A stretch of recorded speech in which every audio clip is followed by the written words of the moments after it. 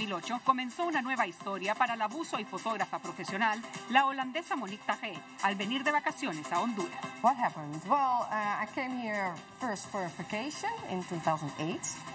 And uh, my passion has been diving uh, my whole life, basically.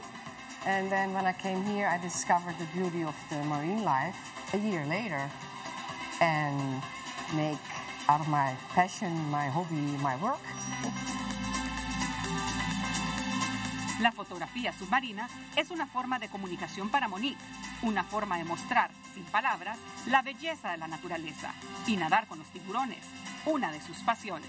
Um, yeah, I love sharks. That's really uh, one of my favorites. That's of course big. And Diving with sharks. yeah, that is, um, is uh, really uh, very enjoyable, very uh, beautiful creatures. Uh, but besides that, of course, uh, we have also the little and the small macro photography. But although, yeah, like seahorses, uh, you don't find them every day. But you're lucky if, yeah, it's like a piece of art. They're very uh, unique creatures.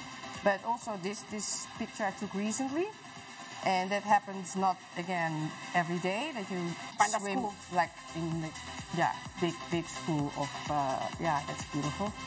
Bucear es mi yoga, manifiesta la fotógrafa, que muestra en su cuenta de Instagram las maravillas que capta a través de su lente, las que relaciona, emocionada, con el mismo cielo. And in the night is also very special because then you see uh, different uh, different creatures, octopus coming more out.